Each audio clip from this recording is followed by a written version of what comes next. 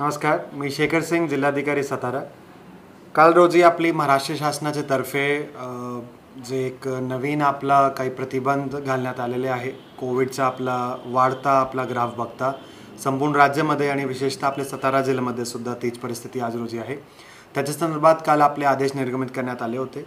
त्या आदेशाच्या आधारावर आज आपण सातारा जिल्ह्यासाठी आपले आदेश निर्गमित केलेले आहे.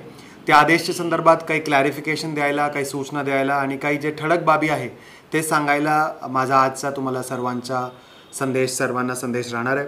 सर्वात आधी आपण कलम एकशे चव्वेचाळीसच्या खाली हा आदेश आपला काढण्यात आलेला आहे. पाच एप्रिल म्हणजे आज रोजी सायकाळी आठ वाजल्यापासून आणि तीस एप्रिल रात्री बारा वाजेपर्यंत हा आपला आदेश लागू राहणार आहे.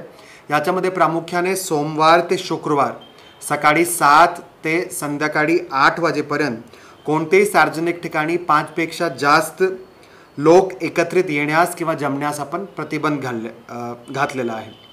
याच्या व्यतिरिक्त जे इतर वेळ आहे म्हणजे काय? म्हणजे सोमवार ते शुक्रवारी संध्याकाळी आठ ते सकाळी सात आणि शनिवार आणि रविवार. म्हणजे सोमवार ते शुक्रवार सायंकाळी आठ ते सकाळी सात आणि शुक्रवार म्हटलं तर शुक्रवारी संध्याकाळी आठ वाजेपासून आणि सोमवारी सकाळी सात वाजेपर्यंत. हे जे आपला वेळ आहे त्या वेळेत कोणताही अत्यावश्यक संचारबंदी आपण ठेवलेली आहे. कोणत्याही अनावश्यक सॉरी याचा अर्थ असा झाला की अत्यावश्यक सेवा अत्यावश्यक सर्व्हिसेस सोडून कोणतेच व्यक्तीला सार्वजनिक ठिकाणी संचार किंवा सार्वजनिक ठिकाणी जमण्यास किंवा सार्वजनिक ठिकाणी हजर राहिल्यास आपण याच्यामध्ये बंदी घातलेली आहे. याचे व्यतिरिक्त याच्यामध्ये आपण वैद्यकीय आणि जे अत्यावश्यक सेवा आहे त्यांना आपण सूट दिलेली आहे. अत्यावश्यक सेवा म्हणजे काय? अत्यावश्यक सेवामध्ये रुग्णालय डायग्नॉस्टिक सेंटर फार्मास्युटिकल कंपनी याच्या व्यतिरिक्त किराणा सामान भाजीपाला दुकान दुग्धशाला काही बेकरी मिठाईचे दुकान आणि खाद्याची दुकाने याच्या व्यतिरिक्त सार्वजनिक परिवहन जे आहे ट्रेन गाड्या टॅक्सी एटसेट्रा याच्या व्यतिरिक्त आपल्या स्थानिक प्राधिकरणाकडून किंवा शासनाकडून मान्सूनपूर्व कारवाई संदर्भात जे काही आपली कारवाई सुरू आहे त्याला आपण सूट दिलेली आहे. याच्या व्यतिरिक्त वस्तूंची वाहतूक वाहतूक ट्रान्सपोर्टेशन ऑफ गुड्स त्याला आपण सूट दिलेली आहे. त्याला काहीच आपण बंधन काही ठेवणार नाही. कृषी संबंधित जे काही आपले काम आहे शेतकऱ्यांच्या शेतामधले जे काम आहे त्यांना आपण सूट दिलेली आहे. ई कॉमर्सला आपण सूट दिलेली आहे. अधिकृत जे आपले मीडिया आहे वृत्तपत्र आहे त्यांना आपण सूट दिलेली आहे. पेट्रोल पंप जे आहे त्यांना आपण सूट दिलेली आहे. स्थानिक आपत्ती व्यवस्थापन म्हणून म्हणजे डिस्ट्रिक्ट कलेक्टर म्हणून head of the district disaster management याच्या नंतर सुद्धा काही जर आपल्याला परिस्थिती बघून सूट द्यायचा निर्णय घेतला त्यांना पण याच्यापुढे सूट देण्यात येईल. याच्या व्यतिरिक्त बाहेरील आणि सार्वजनिक ठिकाणी फॉर एक्झाम्पल आपला एखादा ग्राउंड आहे बगीचा आहे काही गार्डन आहे त्याच्यामध्ये सायकाळी आठ ते सकाळी सातपर्यंत आपण प्रतिबंध ठेवला आहे.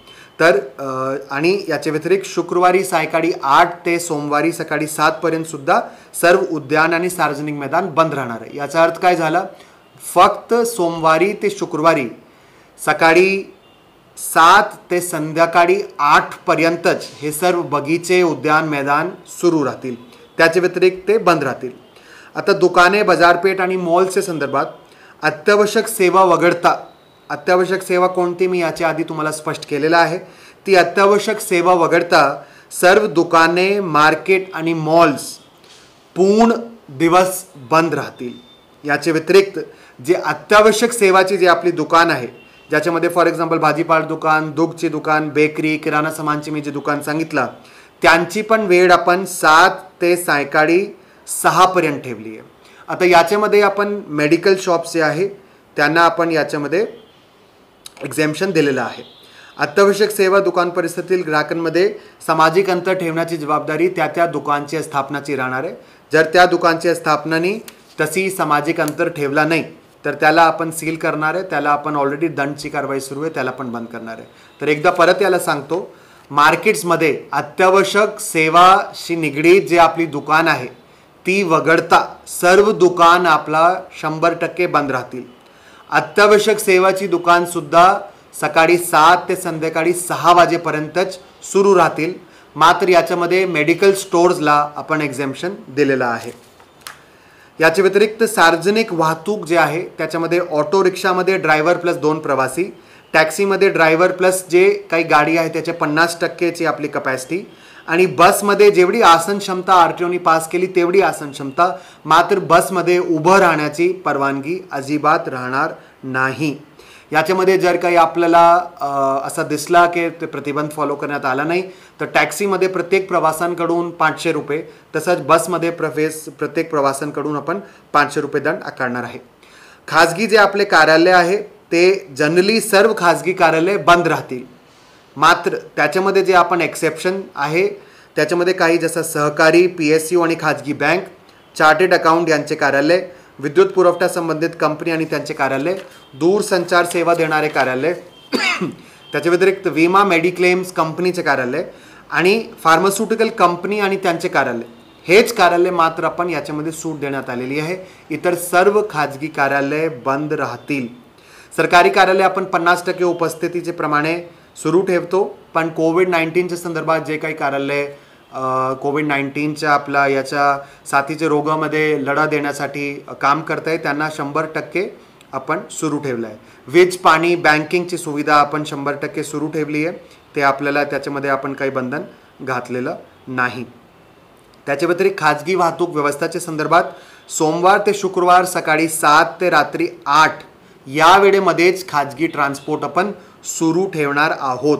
याचे व्यतिरिक्त इन जनरल खाजगी ट्रान्सपोर्टवर बंधन राहणार आहे. मात्र त्याच्यामध्ये जे अत्यावश्यक सेवा आणि निकडीची वेळी उर्वरित असलेला एखादा प्रसंग घडला की त्याच्यामध्ये आपण त्यांना सूट देणार आहोत.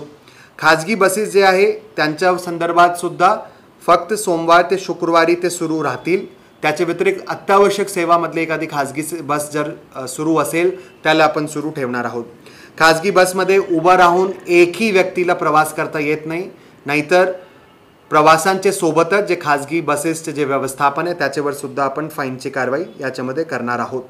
याच्यामध्ये खाजगी सेवा बसेस सेवा देणारे जे आपले कर्मचारी आहे त्यांनी एकतर पंचेचाळीसचे वय वर जर त्यांचं वय असेल तर त्यांनी लसीकरण करून घ्यावा. नाहीतर मागचे पंधरा दिवसाची negative R T P C आरची रिपोर्ट त्यांनी त्यांच्याकडे ठेवणं गरजेचं आहे. त्याच्यानंतर काही मनोरंजन आणि करमणूक विषयक काही आपले गोष्टी आहे त्याच्यामध्ये सिनेमा हॉल बंद राहतील नाट्यगृह प्रेक्षागृह ते बंद राहतील मनोरंजन park arcades video games parlour ते बंद राहतील वॉटर पार्क वगैरे बंद राहतील क्लब स्विमिंग पूल जिम आणि क्रीडा संकुल. कोणताच स्पोर्ट्सचा आपला स्टेडियम असो स्पोर्ट्सचा एखादा बॅडमिंटन हॉल असो ते सर्व याच्यामध्ये आपले बंद राहणार आहे याच्या व्यतिरिक्त काही चित्रपट मालिका वगैरेला शासनाच्या तर्फे काही रिलॅक्सेशन देण्यात आलेली आहे. तीच रिलॅक्सेशन मी सतारासाठी सुद्धा ठेवलेलं आहे. रेस्टॉरंट आणि बारचे संदर्भात कोणताच रेस्टॉरंट आणि बार सुरू राहणार नाही. म्हणजे अभ्यागत किंवा गेस्ट किंवा कस्टमर रेस्टॉरंट किंवा बारमध्ये येऊन जेवण करू शकत नाही. मात्र त्याच्यामध्ये हॉटेल म्हणजे लॉजिंगचे जे आपले हॉटेल असतात ज्या ठिकाणी लोक रात्रीला झोपायला असतात त्या ठिकाणी फक्त जे त्यांचे लॉजिंगचे जे गेस्ट आहे मात्र त्यांच्यासाठी रेस्टॉरंट आणि बार सुरू राहतात. पण याच्यामध्ये मला खूप असा एक स्ट्रिक्ट सूचना द्यावी असं वाटतं आहे जर एखादा लॉजिंग किंवा बोर्डिंगचा जे आपला हॉटेल असतो त्याच्यामध्ये जर मला असं दिसलं की त्यांचे तुमचे स्वतःचे कस्टमर सोडून बाहेरून आलेले काही कस्टमर आहे जे तुमचे रेस्टॉरंटमध्ये जेवण करतात किंवा बारचा वापर करतात तर त्या लॉजिंग बोर्डिंग हॉटेलला आम्ही शंभर टक्के पॅन्डमिक सुरू असेपर्यंत बंद ठेवणार आहे. त्याच्यामध्ये अजिबात काही आमच्यातर्फे रिलॅक्सेशन दिले जाणार नाही.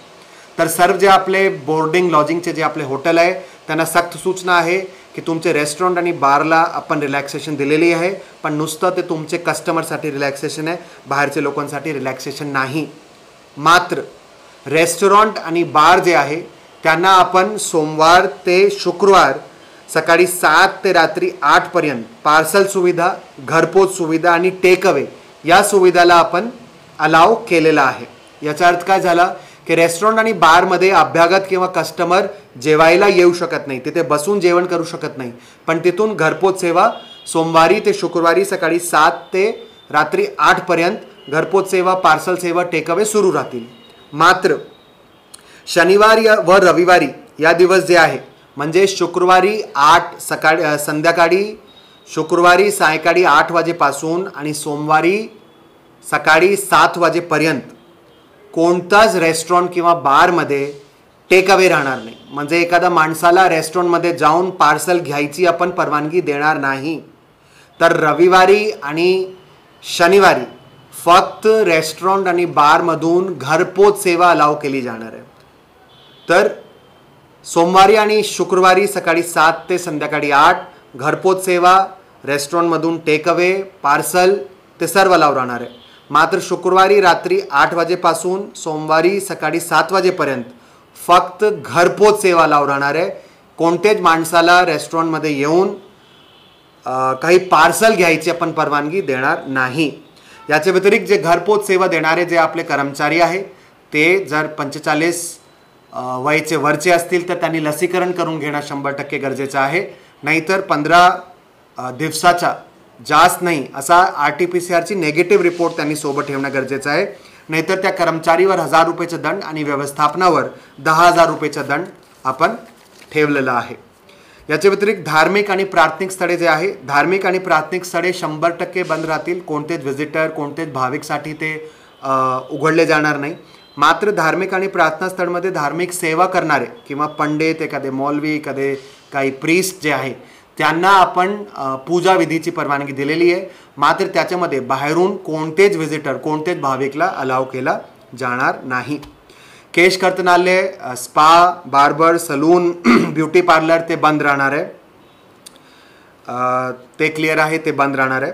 व्रतपत्रचे संदर्भात छपाई आणि वितरण सुरू राहतील. वित वृत्तपत्रांचा जे आपला घरपोच असतो तो सकाळी पाच ते संध्याकाळी नऊ वाजेपर्यंत आपण त्याच्यामध्ये त्यांना सूट दिलेली आहे. सर्व शाळा आणि महाविद्यालय बंद असतील मात्र याच्यामध्ये दहावी व बारावीची परीक्षा देणाऱ्या विद्यार्थ्यांना आपण याच्यामध्ये सूट दिलेली आहे. याच्या व्यतिरिक्त कोणताच धार्मिक सामाजिक राजकीय आणि सांस्कृतिक कार्यक्रम घेता येत नाही. धार्मिक कार्यक्रममध्ये यत्रा जत्रा उर्सचा सुद्धा समावेश असणार आहे. आत्ताच काही दिवस पूर्वी बावधानची बागड बगाड यात्रामध्ये बावधानचे गावाचे लोकांनी चूक करून आणि शासनाच्या आदेशाचा भंग करून त्यांनी बगाडची यात्रा घेतली होती. त्याच्यामध्ये जवळपास चौऱ्याऐंशी लोकांवर आपण गुन्हासुद्धा नोंद केलेला आहे. याचे नंतरसुद्धा स्ट्रिक्टेस्ट कारवाई जर असा काही एखादा आपला जे काही आपण गाईडलाईन्स धार्मिक यात्रा जत्रा संदर्भात काढले त्याचं जर उल्लंघन झालं तर आणखी आपण स्ट्रिक्ट कारवाई याच्यामध्ये याच्यापुढे करणार आहोत. याच्या व्यतिरिक्त एखादा काही इलेक्शन असला त्याच्या संदर्भात आपण गाईडलाईन्स काढली आहे त्याच्यामुळे खूप काय जास्त ब्रीफिंग करणार नाही आहे लग्नच्या संब संदर्भात पन्नास लोकांच्या जे काही आपली लिमिट होती ती आपण तसंच तसंच ठेवली आहे. मात्र जे आपले अभ्यागत येणार आहे त्यांना आपण सर्वांनी लसीकरण करणं जर ते आपलं एलिजिबल असतील तर त्यांना आपण बंधनकारक केलेलं आहे. जे काही आपले लग्न मंगल कार्यालय हॉटेलमध्ये असलेले जे काही आपले कर्मचारी आहे त्यांनी negative R T P C R report किंवा वॅक्सिनेशनचा रिपोर्ट सोबत ठेवणं गरजेचं आहे. नाहीतर त्याच्यामध्ये आपण काही दंडची प्रोव्हिजन याच्यामध्ये ठेवलेलं आहे. याच्या व्यतिरिक्त याच्या आधीच जे आपला दोन मार्च दोन हजार एकवीसला आपण काही अटी शर्ती घालून लग्नच्या संदर्भात एक आपण सर्क्युलर काढला होता ज्याच्यामध्ये जर आपला सोशल डिस्टन्सिंग आणि पन्नासचे नंबरचा जर उल्लंघन झाला तर आपला जे मंगल कार्यालय किंवा हॉटेलचं व्यवस्थापन आहे त्याच्यावर पहिला दंड पंचवीस हजार दुसरा दंड एक लाख. तो पण तसाच्या तसं कायम ठेवतो आहे आणि आयोजक जे आहे त्याच्यावर दहा हजार रुपयेचं दंड म्हणजे लग्न करणारे जे काही कुटुंब आहे त्यांच्यावर दहा हजारचा दंड आणि त्याच्यासोबत फौजदारी कारवाईचं सुद्धा आपण प्रयोजन त्याच्यामध्ये ठेवलेलं आहे. अंत्यवधी किंवा अंत्ययात्रेसाठी जास्तीत जास्त वीस लोकांसाठी आपण परवानगी त्याच्यामध्ये देणार आहोत. याच्यानंतर एक जे खूप एक इम्पॉर्टंट मुद्दा आहे रस्त्यावरील खाद्यपदार्थ विक्रेता जे आहे एखादा टपरी आहे एखादा आपला रेडी किंवा काटमध्ये स्टॉलमध्ये देणारे काही खाद्यपदार्थ संदर्भात काही आपले जर स्टॉल असतील तर त्यांना फक्त पार्सल सेवा व घरपोच सेवा शनिवार आपला सोमवारी ते शुक्रवारी सकाळी सात ते रात्री आठ वाजेपर्यंत ते सुरू ठेवू शकतात. आणि रविवारी आणि शनिवारी सुद्धा फक्त घरपोच सेवा त्यांची सुरू राहतील. त्या स्टॉलला येऊन कोणतेच माणसाला पण अलाव करणार नाही. तसा जर दिसला तर ते स्टॉलचे ओनर आणि त्या माणूस दोघांवर आपण कारवाई करणार आहोत. याच्या व्यतिरिक्त जे प्रतीक्षाधीन जे आपले ग्राहक राहणार आहे स्टॉल वगैरेवर त्यांना सेपरेशन करण्यासाठी काही ग्लासचं सेपरेशन किंवा प्लास्टिक शीटचं सेपरेशन करण्याच्यासाठी पण आपण सर्व जे स्टॉल विक्रेता आहे त्यांना आपण प्रवर्त या निमित्ताने करत आहोत. उत्पादन क्षेत्र मॅन्युफॅक्चरिंग सेक्टरमध्ये इंडस्ट्रीजमध्ये आपण काही अटी आणि शर्ती टाकली आहे. ते आपला अटी आणि शर्ती घालून आपण त्यांना परवानगी दिलेली आहे. शिफ्टमध्ये असलेले कर्मचारी त्यांची वाहतूकची जे काही आपली जे काही व्यवस्था राहणार आहे ते त्यांचे कंपनीचा जे आय कार्ड आहे तो दाखवून त्यांची व्यव जे आपली वाहतूकची व्यवस्था त्यांची अलाव केली जाणार आहे त्यांच्या पर्सनल वाहतूकने. त्याच्या व्यतिरिक्त काही आपण याच्यामध्ये बंधन घालून दिलेले इंडस्ट्रीजला फॅक्टरीजला त्यांनी तो शंभर टक्के पाळणे गरजेचं राहणार आहे. त्याच्यामध्ये टेम्परेचर घेणे नियमित ज्यांना लसीकरणचे साठी जे एलिजिबल आहे त्यांना लसीकरण करून घेणे ती पण कंपनी जबाबदारी राहणार आहे. एखादा माणूस जर थोडाफार त्याला सिमटम आले तर इमिजिएटली त्याला आयसोलेट करून त्याचं टेस्टिंग करून घेणं आणि त्याचे संपर्कात आलेले सर्व कर्मचाऱ्यांचं टेस्टिंग करून घेणंसुद्धा याच्यामध्ये आपण बंधनकारक केलेलं आहे. एखाद्या कारखान्यामध्ये एखाद्या स्थापनामध्ये जे मॅन्युफॅक्चरिंग सेक्टरचे आहे त्याच्यामध्ये पाचशेपेक्षा जास्त जर कर्मचारी असतील तर त्यांनी स्वतःच्या आयसोलेशन सेंटर स्वतःच्या क्वारंटाईन सेंटर उभं करणं पुढचे चार दिवसात उभं करणं अत्यंत गरजेचा राहणार आहे. तो पण आपण याच्यामध्ये बंधन घातलेलं आहे. याच्या व्यतिरिक्त ऑक्सिजन उत्पादनच्या संदर्भात जे काही ऑक्सिजनच्या संदर्भात कच्चा माल जे आपला तयार होतो आहे त्या स्थापनांना आपण याच्यामध्ये सूट देण्यात आलेली आहे. त्यांना याच्यासाठी पूर्व परवानगी घ्यायची काही गरज लागणार नाही. मात्र त्यांच्या जे स्वतःचे जे प्राधिकरण आहे त्याच्याकडून त्यांनी ऑक्सिजन पुरवठाच्या पूर परवानगी घेणे बंधनकारक राहणार आहे. याच्या व्यतिरिक्त आपला पुढचा मुद्दा ई कॉमर्सच्या संदर्भात आहे. ई कॉमर्सला आपण परवानगी ठेवलेली आहे. फ्लिपकार्ट ॲमेझॉन मिंत्रा इतर जे आपले ई कॉमर्स आहे त्यांना आपण घरामध्ये जे होम डिलिव्हरी असतो त्याची आपण परवानगी ठेवलेली आहे. मात्र ई कॉमर्स करणारे जे घरामध्ये डिलिव्हरी करणारे जे त्यांचे कर्मचारी आहे त्यांनी कंपल्सरी पंधरा दिवसाचा वैध राहील असा आर टी पी सी आरची नेगेटिव्ह रिपोर्ट त्यांच्याकडे ठेवणं गरजेचं आहे. नाहीतर आपण त्यांच्यावर फाईनची काय कारवाई याच्यापुढे करणार आहोत.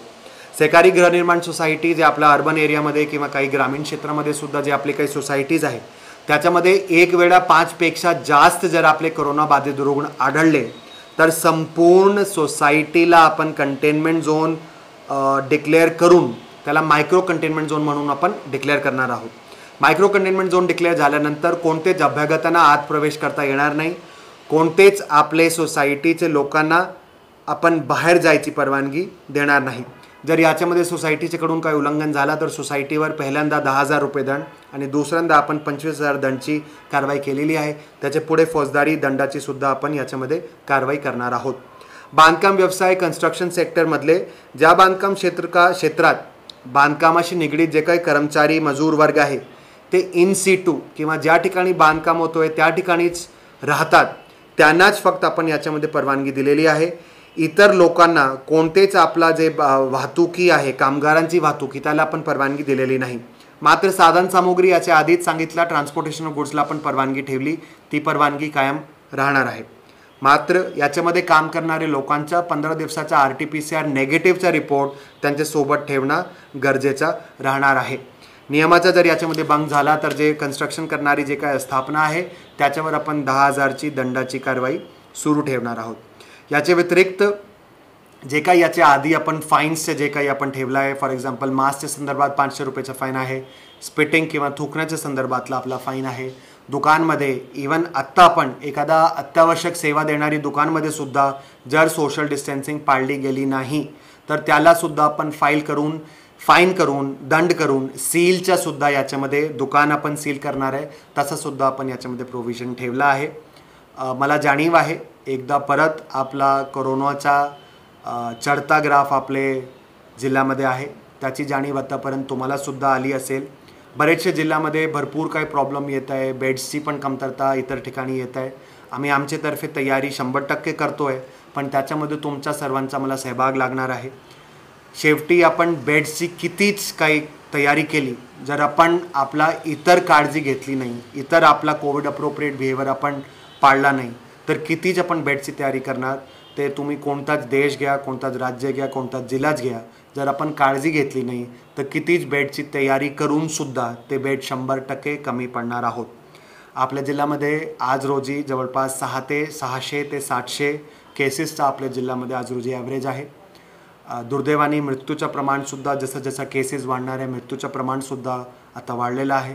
काल आपल्या जिल्ह्यामध्ये दुर्दैवाने सहा लोकांची मृत्यूसुद्धा झालेली आहे. तर परत माझं तुम्हाला सर्वांना आव्हान राहील मला माहिती आहे की परत एकदा आपल्यातर्फे शासनाच्या तर्फे प्रतिबंधन प्रतिबंध प्रतिबंध घालण्यात आलेले आहे. पण तो शेवटी तुमचे सर्वांचे स्वास्थ्य आणि तुमचे सर्वांची जीवची काळजी घेऊनच शासनाने तो एक कठीण निर्णय घेतलेला आहे. त्या कठीण निर्णयामध्ये शासनच्या प्रशासनच्या शंभर टक्के सहकार्य तुमच्या सर्वांच्याकडून राहणार अशीच मी अपेक्षा ठेवतो. कोविड अप्रोप्रिएट बिहेवियर मास्कचा वापर सोशल डिस्टन्सिंग आणि हात धुतण्याची जे काही पद्धत आहे ते कृपया करून विसरू नका. एखादा सिमटम आला तर त्याला अंगावर काढू नका. इमिजिएटली आमची जवळची सेंटरला जाऊन तुमच्या टेस्टिंग करून घ्या. कृपया करून तुमची टेस्टिंग करून घ्या. लवकर टेस्टिंग करून घेतला तर अजिबात मॉर्टॅलिटी राहत नाही पण तुम्ही अंगावर जर काढला तर कदाचित याच्यामध्ये मॉर्टॅलिटी होऊ शकतो आहे दुर्दैवाने मृत्यूसुद्धा होऊ शकतो आहे तर टेस्टिंग लवकरात लवकर करून घ्यावा. तुमची नाही तुमच्या आजूबाजूच्या लोकांची सुद्धा टेस्टिंग करून घेणं तुमची जबाबदारी आहे. तर शंभर टक्के तुम्ही ती जबाबदारी पार पाडणार आहे. आणि शेवटी वॅक्सिनेशनचा आपल्या जिल्ह्यामध्ये खूप एक चांगला स्पीड आपण घेतलेली आहे. आज रोजी आपण एकवीस हजार लोकांना वॅक्सिनेशन केलेलं आहे जे की चार दिवस आधी आपला नंबर सहा हजार पर डे होता. आज तो एकवीस हजार पर डे आहे. तर आमचा माणस आहे की आपण अप्रेलचे महिन्यामध्ये पंचेचाळीस वयचे वर असलेले सर्व लोकांचं आपण वॅक्सिनेशन करणार. मात्र तुम्ही तुमच्या जवळचे वॅक्सिनेशन सेंटरला जाऊन आधी तुमची नोंदणी करून घ्या. त्या नोंदणीच्या आधारावर जे काही तुम्हाला स्लॉट भेटणार त्याच्या आधारावर तुमची वॅक्सिनेशन तुमच्या जवळचे P H C sub centre R H S D H किंवा एखादं प्रायव्हेट हॉस्पिटल या ठिकाणी आपण सुरू केलं आहे तुम्ही सर्वांनी पंचेचाळीस वयाचे वरचे लोकांनी वॅक्सिनेशन घेणं गरजेचं आहे. जेणेकरून आपण मॉर्टिलिटी कमी करू शकतो. याच्यामध्ये कोवॅक्सिन कोविशिल्ड किंवा इतर पण पुढे कदाचित काही वॅक्सिन येतील त्यांची डिबेटमध्ये न जाता वॅक्सिनेशन आज रोजी घेणं गरजेचं आहे. जेणेकरून तुम्हाला मॉर्टिलिटी राहणार नाही आणि सिव्हिअरिटी राहणार नाही. तर सर्वांनी वॅक्सिनेशन